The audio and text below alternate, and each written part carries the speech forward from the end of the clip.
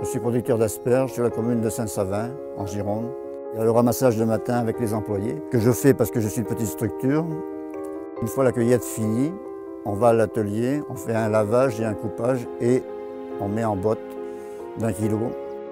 Ce qui passionne, c'est que bon, on est, euh, on est à l'agriculture déjà et puis on fait ça en famille, ce qui est important pour moi. Entre ma femme et les employés, comme je vous disais tout à l'heure, depuis une dizaine d'années, qui a une confiance.